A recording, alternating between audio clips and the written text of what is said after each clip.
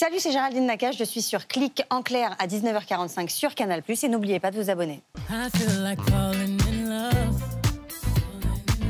On a beaucoup été dans le salon à regarder ces spectacles et à attendre, alors qu'on voulait regarder euh, Sacrée Soirée ou Champs-Élysées. James, bonsoir. Ça va ou quoi, Daphne? Tu sais quoi, backstage, j'ai croisé le daron Fouras. Il est trop ce là. Je me suis dit, c'est ça qui m'anime, quoi. C'est ça qui me plaît, c'est ça que j'ai envie de faire. Joby. Joba.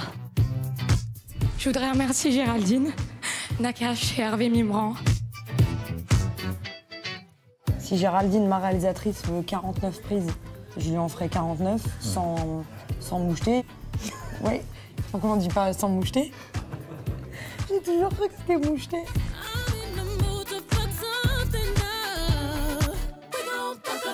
Je suis lesbienne, Marc?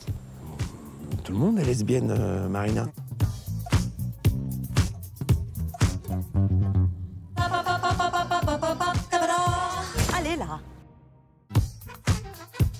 Vrai métier, c'est de raconter des histoires.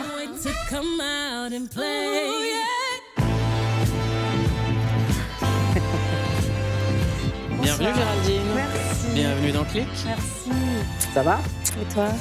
Oui, je tiens à dire qu'on a adoré Je ne suis pas un héros de Rudy Milstein. C'est actuellement au cinéma avec Ouais. Vincent de Dienne, Clémence Poésy, Isabelle Nanty et Sam Carman. Alors le pitch, c'est l'histoire de Louis. Louis, c'est un mec super gentil dans son cabinet d'avocat. C'est pas forcément un compliment d'être super gentil. Quand on est avocat et le jour où son médecin lui diagnostique par erreur une maladie grave, le regard des autres change. On fait attention à lui, on lui pose des questions et on lui donne de l'attention. Louis existe et ça donne ce film. Je ne suis pas un héros. Bonne annonce. Je suis allé chez le médecin qui m'a diagnostiqué un cancer. Je te trouve très courageux, Louis. Ah, c'est bien ça. Tout va bien. Comment ça Je suis désolé de vous avoir inquiété pour rien, mais vous savez, j'en vois tellement que. Ah ouais, mais c'est dommage parce que c'est grâce à ça que t'as une promotion. Tes parents, ils s'aiment parce que t'as un cancer. À partir d'aujourd'hui, c'est que des bonnes Ah, et d'abord, là. Et euh, t'as pécho une meuf parce que t'as un cancer. Aujourd'hui, il y a des gens qui sont malades. Je sais pas si tu comprends ce mot malade en vrai. Alors oui, je pense qu'il comprend parce qu'il vient juste de débuter une euh, chimiothérapie. N'est-ce pas? Donc t'as loué un cancéreux pour nous faire de la peine. Qui loue tout la meuf Bonjour, bonjour. Bonjour ton cul. Ta façon de parler là. Tu peux pas faire un petit effort Ça va, ça va. Non, c'est pas joli, t'écoutes pas toi? C'est pas. Si, la preuve, je t'écoute là. Je suis une merde. Regarde, ta morale, elle est en phase terminale, là, c'est chaud. Il va falloir que tu lui dises. Ça s'appelle Je ne suis pas un héros. C'est un film sur lequel on met le tampon clic, le fameux tampon. Euh, Ah, je suis contente parce que je l'adore ce film. eh ben, nous aussi. Euh, tu joues Hélène. Jo Hélène, ouais. Hélène euh, est en rémission, elle est militante et porte-parole de victimes de cancer causés par des pesticides. C'est quelqu'un de très en colère, assez grossière, qui se dit altruiste mais qui n'est pas spécialement en réalité. Ouais. Et elle dit dans le film quelque chose qui résonne beaucoup, il ne suffit pas de bien parler pour avoir raison. Et oui, et ça, c'est euh, c'est quelque chose qui, qui nous parle à tous. Quoi. On n'est pas obligé d'avoir euh, les diplômes. euh, bien dire, c'est toujours très compliqué. C'est vrai que souvent, on t'entend mieux quand tu articules mieux ta pensée. Cette Hélène Smith, elle, articule sa pensée d'une manière un peu compliquée, avec un langage un peu détestable. Sauf que le fond, finalement, on ne peut pas lui reprocher ce qu'elle pense. Elle a, elle a envie d'aider, elle a envie de faire bien. Mais c'est vrai que la forme, elle est terrible. Euh, prix du public du meilleur second rôle féminin au festival Jean Carmet. Ouais. C'est quoi ton rapport avec les prix et les récompenses? Il, il est très nouveau parce que j'en ai eu un magnifique qui était le prix du meilleur espoir féminin pour Leïla, Bekti pour Tout ce qui brille.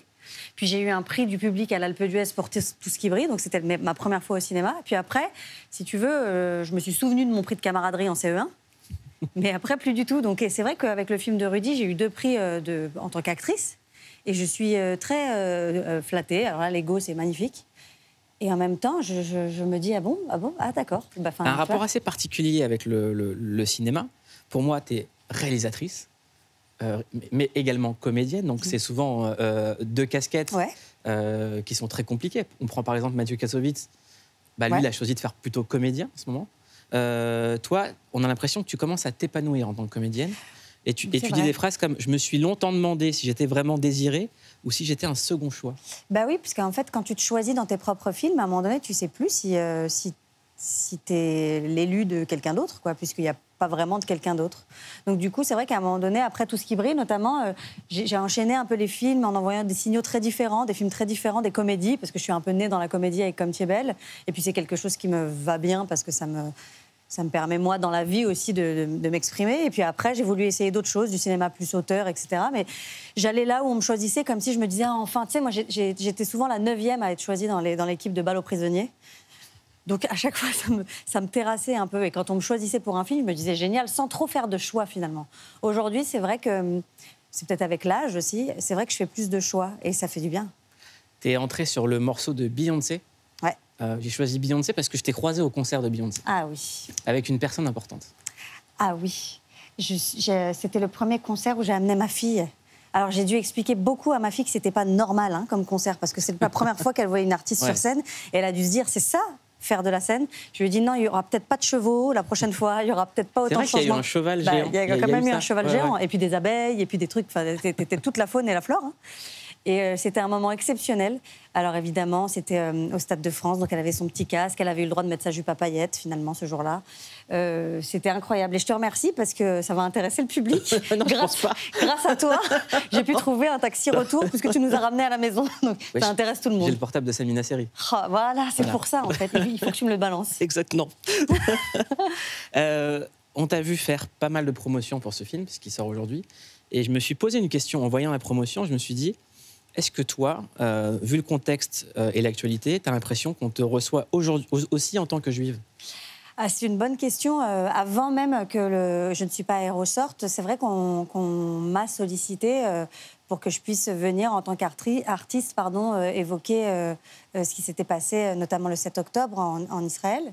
Ça avait été le cas à l'époque avec Leila Bekti pour les attaques de Charlie Hebdo aussi. La presse nous avait beaucoup appelé, elle et moi, pour qu'on puisse venir s'exprimer. Et euh, on avait du mal à, l'époque à, ex- à exprimer euh, la tristesse qu'on ressentait, mais l'une comme l'autre, on était très mal à l'aise avec ça et ça nous rendait très tristes.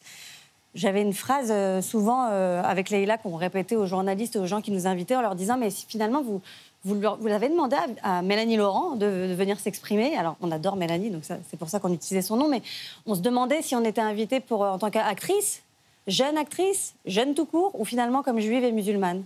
Et aujourd'hui, à l'approche de la sortie de Je ne suis pas un héros, quand on a tous vécu ce- ce- cette, torpeur-là, euh, c'est vrai que j'ai été sollicitée aussi euh, pour venir parler. Et tout d'un coup, je me suis dit, euh, qu'est- qu'est-ce que ça veut dire? Alors oui, c'est vrai, je, suis juive.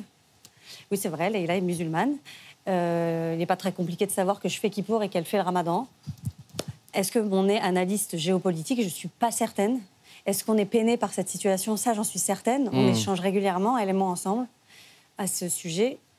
Et, euh, et c'est une situation qui nous met toutes très mal à l'aise. Quant à la promotion, c'est vrai que du coup, euh, euh, je dois admettre que j'ai dû me préparer différemment pour promouvoir le film.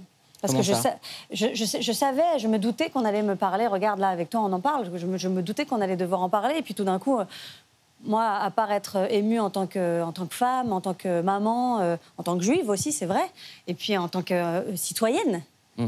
euh, émue aussi de voir que c'est rapporté, tout ça, ce conflit a pu être rapporté ici, en France. Ça, c'est un peu traumatique, quoi. Donc du coup, j'ai dû me préparer différemment en me disant qu'on allait pouvoir me poser la question et qu'il fallait pas déraper, il fallait pas sortir des rails. Euh, prononcer le mot paix aujourd'hui est devenu pre- presque galvaudé. Si tu dis que tu étais pour la paix, c'est comme si on dit allez, allez, allez, Mm. allez, euh, sors, sors de là. Bah, nous, Je- nous, on a simplement parlé de cessez-feu dans, dans Voilà, cette émission. J'ai reçu un nombre de menaces, pas possible. de menaces carrément, tu vois. Il y, a- il y a quelque chose qui ne va pas dans, dans l'idée aujourd'hui, cette injonction à devoir parler, à devoir choisir son camp. Et puis ce truc euh, aussi à vouloir nous mettre dos à dos. C'est vrai qu'avec Leïla, on se disait... euh, tout s'est bien passé depuis tout ce qui brille. On n'était porte-drapeau de rien du tout. On était juste deux amis. Et, et aujourd'hui, il y, a une- un- il y a eu un peu ce signal-là. Honnêtement, c'est très minoritaire. Il faut remettre, faut quand même rendre à César. C'est c'est tout petit, mais de vouloir nous mettre dos à dos, absolument s'exprimer. Et euh, c'est vrai que c'est une pression parce que, parce que euh, elle et moi sommes très proches de nos communautés respectives. euh, des, des communautés respectives de l'une et de l'autre aussi, donc on ne veut blesser personne. Donc s'adresser aux gens, c'est Mm. c'est aussi une, une façon de se dire est-ce qu'on va pas toucher les gens? Donc euh, devoir faire un poste, de pas faire de poste, se taire, pas se taire, c'est- c'est devenu très compliqué et un peu douloureux, c'est vrai. Tu t'es exprimé il y a trois jours sur ton Instagram. Tu as mis la boule au ventre. Ces temps-ci, j'ai éprouvé de la solitude. la solitude face à la guerre, face à ce que je pense, face à ce que je dis ou ce que je devrais absolument dire selon un tel ou un tel. Pourquoi est-ce qu'on en arrive à ce niveau de pression en fait? Je sais pas bien pourquoi. Euh, je, je- sais pas. Au début, je me disais c'est très franco-français ça de devoir se justifier. Puis en fait, je vois bien que c'est généralisé au monde entier. Je je sais pas pourquoi on en arrive à ce niveau de pression et je sais pas pourquoi on subit, on accepte de subir cette pression aussi. Euh, parce que moi, je le vois tous les jours dans mon quotidien. Parce que euh, dès le 9 octobre, on se parlait au téléphone, toi et moi, Mouloud. Je le vois avec mes amis qui sont des personnalités comme toi ou comme Laïla, ou avec des amis qui ne sont pas forcément dans ce métier-là. Mais on se rassemble et je crois très fort à ce rassemblement, euh, à nos échanges, à parler, à échanger. Euh, je, je- comprends, euh, je comprends aussi l'idée de de se taire et de, et de décider d'être plus fort que ça. Euh, c'est vrai que Leïla et moi, on, a été très fragilisés. On n'a pas été peut-être assez fortes. Leïla a pris la parole sur ses réseaux Mm. il y a quelques jours. Moi aussi, pour la sortie de ce film, tout d'un coup, je me, me disais, mais c'est absolument indécent de poster la bande-annonce d'un film et en même temps de savoir que ces otages n'ont pas été libérés. Enfin, ça devenait fou. Mm. Et en même temps, ces gens qui te disent, tu parles pas, tu parles pas, Mm. et il est où un tel, et elle est où Attends, ils sont dans ma poche là, je vais, je vais te les montrer, ils sont là. Tu vois, tu deviens cynique, tu deviens Mm. agressif, tu te terres chez toi, ça n'a pas Et vraiment puis de on sens. devient en proie aux amalgames. En plus. Qu'on peut être contre l'antisémitisme et ne pas cautionner la politique de l'État d'Israël. Ouais, on doit être contre l'antisémitisme. Absolument. J'aimerais qu'on regarde un extrait d'un documentaire, pareil, qui résonne énormément avec ce qui se passe aujourd'hui. Ça s'appelle Elle parle d'elle, dans, laquelle- dans lequel tu racontes la vie de, de Gisèle Halimi. On regarde. Je ne savais pas très bien ce que c'était être avocat, mais j'avais un tel sentiment de d'un monde fait d'injustice sociale, de misère, de clivage, les riches, les pauvres, les femmes, les hommes, les Arabes colonisés, les Français qui colonisaient. J'ai vécu là-dedans toute mon enfance et je l'ai tellement supporté, je l'ai subi, que mon premier réflexe a été qu'est-ce que je veux faire dans la vie? Défendre. Je ne savais pas comment d'ailleurs, mais je savais qu'en défendant, bien je me défendrais au- aussi moi-même. Je savais qu'en défendant, je me défendrais aussi moi-même. Alors ça annule toutes mes larmes et mes émotions parce que, en fait, voici une Contre femme. un- Kems. un- contre Kems, vraiment quoi. un modèle de femme qui s'est dit je vais me battre pour les autres et je me battrai encore mieux pour moi si c'est le cas, si j'y parviens. Elle a fait des choses incroyables, notamment pour les femmes, c'est vrai. Euh, avec sa copine Simone Veil, elle est parvenue à faire des choses immenses. Elle a combattu la colonisation aussi. Absolument, elle a fait ça aussi. Elle est, euh, elle est décédée il n'y a pas si longtemps, j'ai donc pas eu la chance de la, rencontrer. En revanche, j'ai passé euh, beaucoup de temps avec les gens qui l'ont euh, côtoyée, qui ont travaillé avec elle notamment, qui ont monté cette, association qui s'appelait Choisir pour aider les femmes à choisir si oui ou non elles garderaient leurs enfants ou pas, si elles pouvaient. Donc ce droit à l'avortement. Je dis pas ça parce qu'on est sur Canal, mais c'est une des plus belles initiatives de Canal, ce doc. Je- C'est super, Ouais. super. Quand on- en fait, à la base, on est venu me chercher. Moi, ça existait. Enfin, il n'y avait pas encore de modèle, si j'ose dire. Aucune actrice n'avait fait ce, cette case là de documentaire qui s'appelle Elle parle d'elle. On m'a dit Est-ce que tu voudrais parler d'une actrice morte, puisque c'est le principe, euh, avec laquelle tu te sentirais une filiation Et Je ne savais pas tellement. euh, donc euh, j'ai d'abord euh, refusé, puis après ils sont revenus à la charge quelques mois plus tard. Et j'avais vu euh, Carole Bouquet qui parlait de Coco Chanel, et puis tout de suite j'ai pensé à Gisèle Halimi, et on m'a dit ok on y va. Voilà. Est-ce que le fait de faire un documentaire sur Gisèle Halimi, ça résonne avec toi, le rapport avec la génération de tes parents et leur rapport à l'Algérie notamment? Absolument. Ouais, ça résonne, évidemment que ça résonne. Euh, Mes parents, alors c'est marrant parce que mes parents m'ont toujours fait vivre dans, un, dans, un, dans leur souvenir, qui était celui. Mes, mes deux parents sont nés en Algérie, ils y ont vécu. Et euh, avec mon frère, on se disait toujours un jour on ira avec eux, un jour on pourra aller en Algérie, voir, euh, comprendre enfin euh, euh, leur pays, quoi. Et puis donc qui on est quelque part, une partie de nous. Et puis il y a quatre mois, on est parvenu avec mon frère euh, à, amener, à ramener mes parents en Algérie, 60 ans après. Euh, ah voilà, voilà, ça c'est à Constantine. Et euh, d'accord, voilà, bon bah super. Alors, super. Ah, c'était un grand moment parce que ça y est, on a compris les odeurs. Enfin, les odeurs, elles sont devenues des odeurs. Elles n'étaient pas une idée d'une odeur. On a tout compris. On a compris d'où on venait. On a compris que, que ce qu'on mangeait, ce qu'on dansait, ce qu'on pensait, ce qu'on riait, ça venait d'ici aussi. Euh, donc, euh, je suis ravie d'avoir pu euh, vivre ces moments-là avec mes parents et mon frère. voilà, tous les quatre là-bas. C'était dingue. Donc, tu as kiffé l'Algérie? Ah ouais, c'était super. C'était super. On dirait que tu as envie d'y retourner. Pour être honnête, on a prévu de refaire le même voyage pour ma maman, qui est d'Oran. Donc on va y retourner. On va y retourner pour aller sur les traces Bah là, en plus, avec mon père, je sais pas si t'imagines, on a vu l'endroit où il est né, cet appartement, son école, l'appartement de sa grand-mère. C'est une dinguerie quand même. Enfin, ça y est, ce- ce- ces souvenirs qui étaient des fantômes pour mon frère et moi, ils sont devenus euh, des choses qui existent. En tout cas, on remercie très fort euh, tous les Algériennes et les Algériens qui nous envoient plein de messages de soutien sur les réseaux. Ah, c'est vrai? Et d'ailleurs, ils, nous ont, regardent ils nous ont super bien accueillis euh, en Algérie aussi, donc merci, c'était trop bien. Euh, le film, on, en- on y revient, Je ne suis pas un héros, ça parle de mensonges. Ouais. On s'est posé une question, est-ce qu'il y a des mensonges parfois nécessaires? On en parle juste après ça. On le sait tous et on nous le rabâche depuis toujours, mentir c'est mal. Pourtant on a tous déjà menti. Et que ce soit pour se protéger soi-même, préserver les autres ou échapper à une situation délicate, on a très souvent de bonnes raisons de mentir. Est-ce que c'était bon pour toi? J'ai connu mieux. Et nous mentons plus que nous le pensons. Selon une étude britannique, les femmes mentiraient en moyenne 3 fois par jour contre 6 fois par jour chez les hommes. Je peux pas sortir. Je suis malade. T'es qu'une grosse. Autre fait intéressant, nous ne mentons pas tous pour les mêmes raisons. Les mensonges des femmes seraient majoritairement altruistes, alors que les hommes, eux, mentiraient davantage pour se protéger. I did not have sexual relations with that woman, Miss Lewinsky. Et chez certaines personnes, le mensonge peut même être une maladie. Ça s'appelle la mythomanie, une pathologie qui pousse à mentir de manière compulsive et irrépressible. Claire, là, avec ma rhum, là, on a fait l'arbre généalogique de la famille. Je suis le descendant direct de Louis XVI. Et la technologie n'arrange rien, car mentir derrière un écran, c'est souvent beaucoup plus facile qu'en face à face. Pire, les machines peuvent même se retourner contre nous et faire éclater la vérité au grand jour. C'est qui la meilleure actrice entre les deux? C'est qui la meilleure actrice entre les deux? Vous êtes vraiment des bâtards. Alors que ce soit pour éviter un conflit ou préserver une amitié, pour se mettre en avant ou tout simplement dissimuler une erreur, est-ce que le mensonge, ça a du bon? Non, je crois que ça n'a pas du bon. Moi, j'ai fait un gros mensonge quand j'étais jeune. J'en ai même fait un film. C'est mon, mon mensonge de tout ce qui brille, quoi. Dire que j'habitais ailleurs, que j'étais pas de là, Mm. que j'étais d'ailleurs. Franchement, j'ai dû faire un film presque pour m'excuser, m'excuser auprès des miens, quoi, pour leur Mm. dire vous inquiétez pas, en fait, j'aimais tout. C'est moi qui étais débile mental. hein. Euh, donc, je sais pas. J'ai l'impression, moi, que le mensonge, ça, c'est non, c'est pas bon. Le truc même, le mensonge par omission, je sais pas quoi, laisse tomber, mens pas. c'est- Mm. tu- J'ai l'impression que tu gagnes du temps si tu mens J'ai pas. l'impression que tu n'as pas parlé de tous tes mensonges, j'aimerais qu'on en regarde un autre. C'est-à-dire? Je suis amoureuse d'un d'un garçon qui s'appelle Cyril. Ça se passe précisément le week-end du 14 juillet, donc je m'en souviendrai toute ma vie. Et il me dit Ouais, euh, écoute, je pars en Normandie, mes parents, ils ont une très grande maison, ils te verront pas, viens. Évidemment, j'ai pas du tout le droit à 15 ans d'aller nulle part. Bah oui. Je me dis, ok, j'ai une copine qui s'appelle Johanna, que mes parents connaissent très bien, chez qui je dors euh, quasiment un week-end sur deux. Et euh, Johanna, elle a des grandes sœurs adultes, déjà très adultes, qui l'emmènent souvent euh, à Euro Disney. Papa, maman, est-ce que ce week-end, les sœurs de Johanna m'invitent à Disney, je peux, je peux y aller? Et là, il y a un oui qui sort. Je pars, je pars en Normandie, il y a une place très connue à Deauville qui s'appelle la place Morny. C'est l'été, il fait beau et tout, et je, vois Cyril. Cyril qui est avec une fille qui est plus âgée que moi. Et, et du coup, j'arrive et je lui dis, bah, je suis là. Et puis il se retourne vers moi et puis il me dit, euh, Géraldine, je, suis- je suis avec elle et puis en plus elle, elle est, elle y va quoi, elle fait des trucs et tout. Donc euh, pas ce week-end.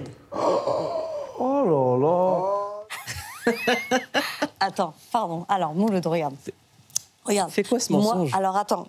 Alors, attends. Waouh, tu me mets en galère parce que c'était sur Internet, tranquille et tout. Moi, mes parents, ils vont pas sur Internet et tout.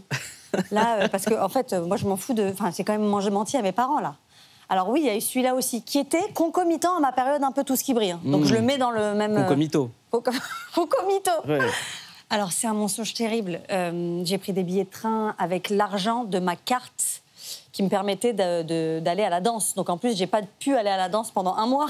Et j'ai dû faire semblant d'aller à la danse pour pouvoir me payer ce billet de train pour aller à Deauville, où ce gars m'a juste basé, en fait. On espère qu'il nous regarde. Donc, il faut pas mentir. Faut pas mentir. S'il te plaît, ma fille, ne ment pas.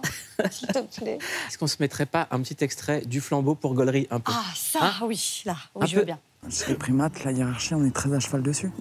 Et t'es mon chef, donc si t'as envie de copuler. Ah bah, là, euh, C'est quand d'accord, tu veux. bah ouais, maintenant. Maintenant, allons Non. Marc, non, non, non. J'ai un problème sur le- le- la carte, s'il te plaît. Tu Bien me laisses une seconde, s'il te plaît On va nous trouver un petit endroit. Qu'est-ce qui se passe Qu'est-ce qui se passe, toi, avec Soraya, là Encore rien, je suis en train de la séduire, on va peut-être copuler. Non, il en est hors de question, Marc. Mais qu'est-ce qui t'arrive, toi? C'est pas parce que t'es sa meilleure amie possessive que Je tu suis dois. pas l'amie possessive, je suis amoureuse d'elle. Qu'est-ce que tu racontes? Je suis lesbienne, Marc. Tout le monde est lesbienne, euh, Marina. D'accord. Tu sais pas ce que ça veut dire, lesbienne? Non, voilà, non. Mais toi, tu connais tous les mots du dictionnaire, peut-être? Tu connais le mot bicentenaire? Ouais. Eh ben, tant mieux pour toi, alors. Lesbienne, ça veut dire deux femmes qui s'aiment et qui font l'amour. Non, ça n'existe pas. Est-ce que tu vas rempiler C'est-à-dire dans les aventures de Marc? Ben, on, aime- on aimerait bien, il faut que Jonathan. On peut faire, je peux faire une petite. euh, Bah ouais. Jonathan, s'il te plaît, carbure. On a envie de remplir tous. On a besoin là. On a besoin, on a envie de se marrer, ouais. ouais. Ouais. Mais euh, je ne suis pas un héros, ce serait très drôle. Très, très drôle. C'est très, très Film drôle. Très, très drôle, vraiment. Il y a un grand réservoir de choses rigolotes, c'est tes réseaux sociaux. Ah. Et on a fouillé tes réseaux sociaux. Ah. On a cliqué dessus, c'est le clic sur.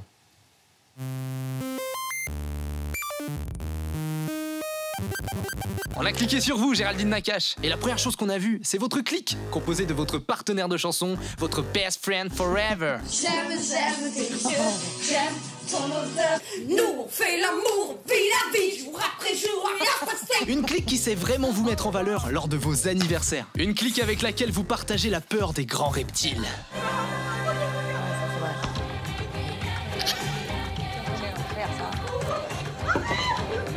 Mais aussi avec laquelle vous partagez des aventures de dingue, dignes de la Jet Set. Géraldine, j'ai un petit souvenir à te montrer. Ah, bah alors? Un souvenir? Mais quoi euh, Une vidéo coulisses de votre premier film euh, Votre premier tapis rouge? On était avec, euh, avec la meilleure, Leila Bexi, à Cannes, et on cherchait un tropico dans un kebab. Waouh Ah, Il y aura clairement un avant et un après cette révélation. Quand on clique sur vous, Géraldine, on voit le modèle photo. Modèle photo en toutes circonstances, hein. Car oui, on peut être chic tout en faisant la vaisselle. Actrice et réalisatrice, on découvre votre prestation méconnue dans le biopic de Véronique et Davina. On y va? C'est parti?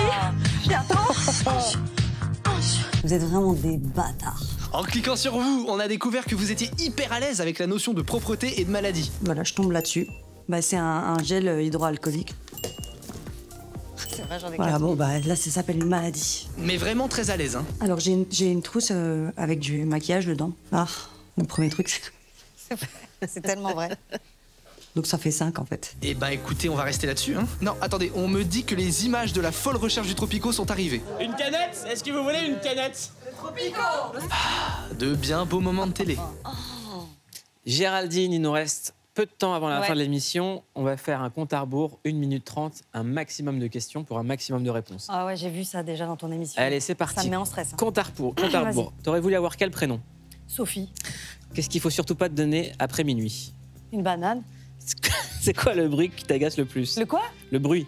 Le- le- le- le- le- la, la fourchette sur les dents, là, comme ça.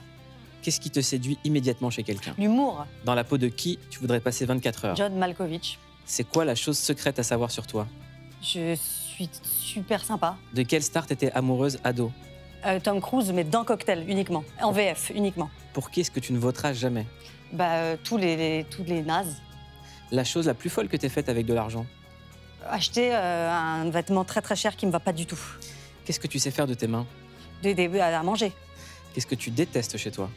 Bah non, mais là, c'est, c'est- on dépasse une minute. Euh, C'est quoi le cauchemar dont tu te souviens toujours?